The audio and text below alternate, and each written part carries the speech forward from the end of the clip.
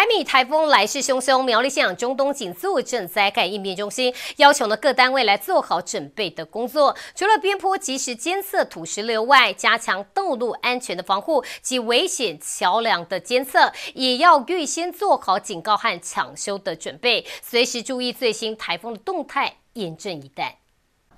因应凯米台风来袭，苗栗县灾害应变中心立即开设。苗栗县长钟东锦担任指挥官，亲自坐镇，要求县府各局处及协勤协力单位做好准备，严阵以待。这个时候，他们各执所思，应该谁负责什么工作，大家对工作的内容也非常的清楚，所以我们已经做好了准备。那当然，呃，光我们。呃，这些单位我们官方做好准备，我觉得是不够的哈。我们的乡亲还是要做好这个防灾的准备，像这个易掉落的看板啦，你的家里如果有这个放在外面的盆栽比较容易倾倒的，我觉得也要更注意哈。针对县内土石流前世溪流水位持续监控，水域工地机具已先行撤离，农田水利署苗栗管理处也彻底检视辖内水闸门，确保电动水闸门的功能。另外到道路中断、路树挡道，还有危险桥梁监测，县府都做好准备。对于十八乡镇公所，目前我们也是针对要求他的开口企业者厂商，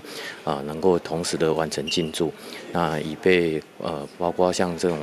风力太大造成的一个路树的倒塌，以及小落石的一个呃状况排除。我们也针对我们的一些危险桥梁，包括。